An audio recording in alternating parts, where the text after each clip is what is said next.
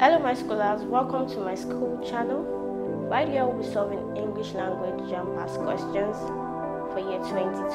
So stay with us, don't go anywhere, and we'll be right back.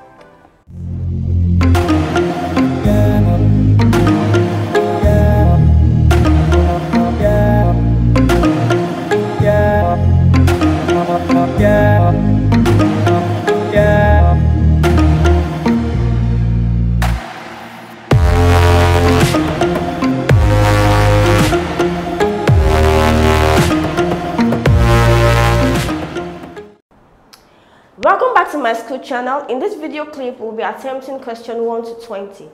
Now, question 1 to 5 comes with a passage, so I'd advise you to read, to read this passage carefully. So you can click on the link in the description below where it takes you to Myschool website. There, you can have access to read the passage. Or, you can pause this video as it is being displayed on the screen. Read carefully for proper understanding. Moving on to question 1. Theater was popular in Africa because dash a was traditional and simple in nature. Option B dealt with the political, social, and economic problems of the society. Option C was a source of fun. Option D was communal and reflected the common concerns of the people. Now, if you've read this passage, you see that in summary, this passage talks about theater and drama, and it talks about the declination of this um, act. Now, in this, in, to answer this question, the first paragraph talks about how the community will gather together to entertain themselves with theater and drama, and that in the, the community emphasizes on um, um, community participation, peace, and progress. So we see that in all, it deals with the community at large and the concerns of the people. So we see with my explanation that option D best describes this, and the answer is option D, was communal and ref reflected the common concern of the people. Mind you, communal means pertaining to the community. So option D is the correct answer. Question 2. One of the reasons why theatre is unpopular in modern Africa is that its dash, option A, is regarded as not being of much use. Option B only deals with culture and tradition. Option C lacks scientific and academic basis. Option D is always funny and looked down upon. Now, if you've read this passage very well, you see in paragraph 2 that theater and drama was beginning, people begin to pay less attention to theater and drama. And it tells us that um, the rate at which people viewed it became low. It, it, the, the, the utility scale dropped or reduced in paragraph 2. So Judging from my explanation or the content of this passage, we see that option A apply, is applicable in answering this question. Is regarded as not being of much use. Option A is the correct answer. Question 3. In the passage, the term theater and drama are used dash. Option A, differently. Option B, concurrently. Option C, interchangeably. Option D, sparingly. Option A, differently. Differently means not the same, or I'll rather say separately. Now, if you read this text well, you see that this word was not separ separated. Theater and drama was not separated in terms of concept or meaning. They were used the same. Option B, concurrently. What does concurrently means? It means happening at the same time. If you read this text or this passage, you will see that the, the word was not used together at the same time. So what do I mean by used together? I mean using it like theater and drama, theater and drama. We see that it was separated when, when it was used. Option C, interchangeably means to switch or to swap. In this text, theater and drama was switched. The word was switched, the term was switched together. Option D, sparingly. Sparingly means to use carefully or to restrain the usage of the, the word or the term. It was not used sparingly. It was actually switched or swapped. In paragraph one, or first, the first sentence we see theater, the second sentence was sentence was drama rather. Third sentence, theater comes up again and that. So it was switched, it was interchanged, it was swapped. Option C is the correct answer. Question 4. One of the arguments in the passage is that academic playwrights dash Option A, express themselves only in foreign languages. Option B, serve as catalyst in the society's appreciation of theater. Option C, work against the common man's appreciation of theater. Option D, make the theater popular in traditional societies. Now in paragraph 3 and 4, it tells us of how um, African writers would use um, European and American theater conventions to write. And tells us of how African use foreign languages to, to, to write. So we see that from my explanation and from the context of this passage, option A is the correct answer. Express themselves only in foreign languages. Question 5.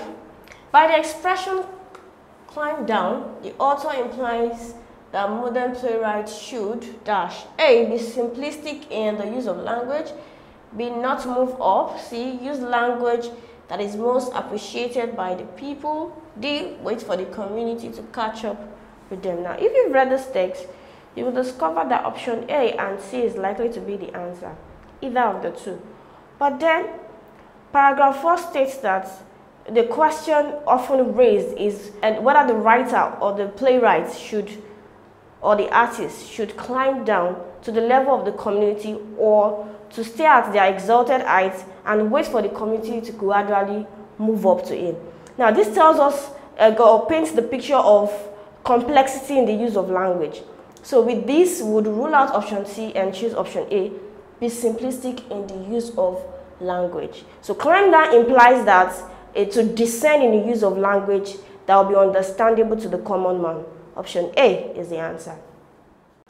Question 6 to 10 comes with a different passage, so I would advise you click on the link in the description below.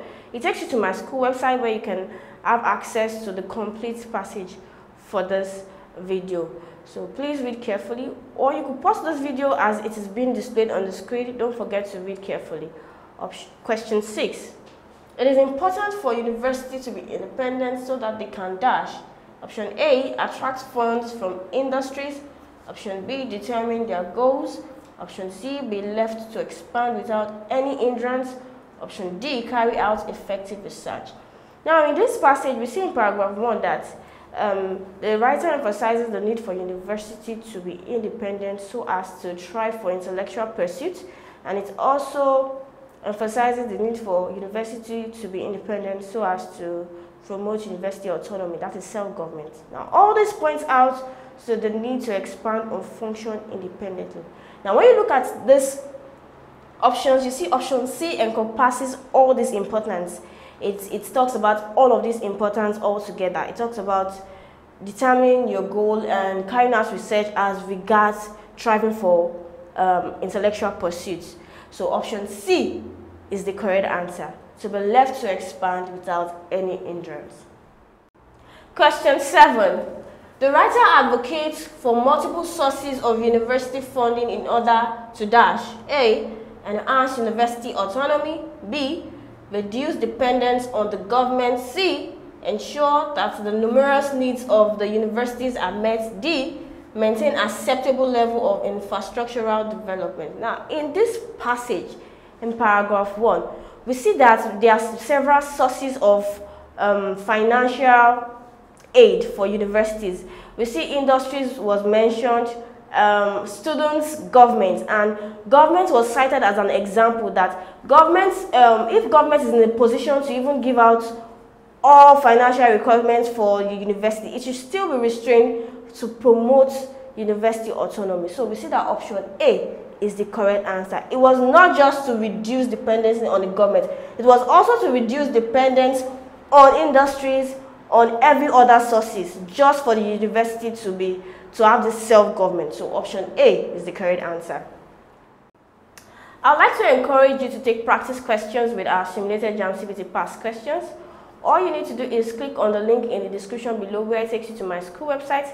There you can download Myschool software for your computers and laptops or Myschool mobile app for your Android phone. So go ahead and start taking practice questions in preparation for your upcoming examination. Now moving on to question 8, the expression intricate issues of special concern means dash. Option A, important policy statements. Option B, interwoven topics of significance, significance rather. Option C, complex matters requiring careful thoughts. Option D, knotty problems that concern everybody. Now, I'd like to refer you to this text. Popularly, they say that you, you can decipher or you can get to know the meaning of a word as it is used in the context. So please go back to this passage. But then in isolation, intricate means having great difficulty. Difficulty also means complex. So we can say that option C is the answer. Complex matters require careful thought. Option C is the appropriate answer. I believe you've enjoyed this content.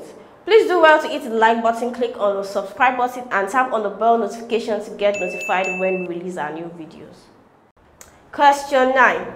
The word diversified as used in the passage means dash. A. Differentiated. B. Varied. C. Diffused. D. Widened. Now this is a very confusing question but then you can understand the word as it is used in the passage by going back to the passage you read again. Now you can decode or tell the meaning of this word as it is used only in the passage because this word is confusing or in isolation it means something different. So in this passage it means to widen. So it tells us about how university funding should be widened, should not be limited to a particular source and that is the meaning of this word as used in the passage. So it means to broaden. Another word to broaden is to widen. Option D is the correct answer. Question 10. The source of the university funding emphasized in the passage is dash A. Government B. Industry C. The general public D. Students. Now in this passage we get the overall uh, feeling or the tone that was used by the writer is, is, is that of a general perception of government as a major source of funding to universities. And in this text, we see that in paragraph 1, the writer uses the government as an example to talk about um, the source of university funding. Option A is the correct answer. Question 11 to 15 are questions derived from a literary text titled Sweet 16 by Bolaji Abdullahi. Now, moving on to question 11. Dash almost fainted when he heard that some students were caught on the school basketball court at 9 having 6. Now, in this text, in page 36, we see that Aliyah tells her father about how some students were caught having sex at the school basketball court. Now, the receiver of this information is Mr. Bello. So it is safest to say that Mr. Bello is the correct answer. Option C is the correct answer. Question 12. Adoringly, Aliyah was referred to as A. Journalist, B. Sex addict, C. A beautiful lady, D. First lady. Now, in this text in page 2, you see that Aliyah was referred to as First Lady, more like a pet name. So option D is the correct answer, First Lady. Question 13. KOTL means dash A. Kiss on the lips, B. Kiss on the lap, C. Kiss on top the lips, D. Kiss on top the legs.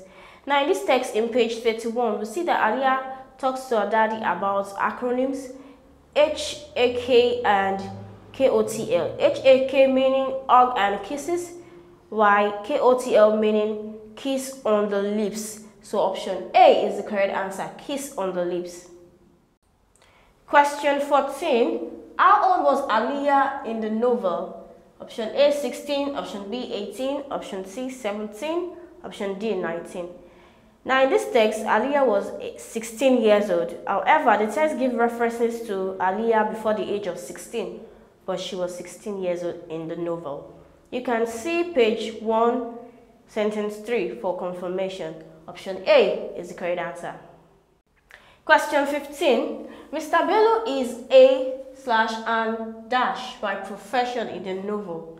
Option A, accountant. Option B, engineer. Option C, nurse. Option D, journalist. The correct answer is D, journalist. You can see page 1, paragraph 5 for verification. Option D is the correct answer. Question 16. In the following options lettered A to D, all the words except one have the same stress pattern. Choose the one with a different stress pattern. Option A, com commits. Option B, compare. Option C, complete. Option D, colon. Now let's go over to the board for breakdown. Option A, commit. We can see the stress on the second syllable. Compare, stress on the second syllable. Complete, the stress is also on the second syllable. But option D, colon, the stress is on the first syllable. So judging from uh, my explanation, we can see that option D has a different stress pattern as opposed to option A to C. Option D is the correct answer. Question 17. Choose the one with the different stress pattern. Option A, apparent. Option B, attractive. Option C, devastates. Option D, infection. Let's go over to the board for the breakdown. Option A, we can see that the stress is on the second syllable, apparent. Option B, also on the second syllable, attractive. Option C, devastate. So the stress is on the first syllable. Option D, infection. The stress is also on the second syllable. So the only difference we have here is option C. So from my explanation, we see that Option C is the appropriate answer. Devastate. Please be reminded that there are several solution providers waiting to answer your burning questions. So go ahead and ask your questions and receive answers within a short period of time. Now moving on to question 18, choose the one with a different stress pattern. A, physique, B, menace, C, challenge, D, reckless. Now let's go back to the board for the breakdown. Option A, we can see that the stress is on the second syllable, physique, as opposed to option B, menace, challenge, reckless. So this is the only difference. Now, judging from our the breakdown on the board, we see that option A is the correct answer. Physique. Do you have better steps, explanation, or solutions to any of those questions? Please feel free to use the comment section below, indicate the question number and the solutions you'd like to share. Question 19. In each of the following questions, the main or primary stress is indicated by writing the syllable on which it occurs in capital letters. From the one letter A to D, choose the one that has the correct stress for the word calculator. Now you have option A, calculator, option B, calculator, option C, calculator, option D, calculator. So we see that the word is stressed originally or primarily stressed on the first syllable. Option A is the correct answer, calculator. Question 20. From the words lettered A to D, choose the one that has the correct stress. The word is criticism. Option A, criticism. Option B, criticism. Option C, criticism. Option D, criticism. Now the correct answer is supposed to be stressed on the first syllable. Option D is the correct answer. Criticism.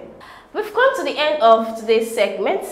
There are definitely more videos to come. So if you like this content, hit on the like button, click on the subscribe button and tap on the bell notification to get notified as soon as we release our new videos.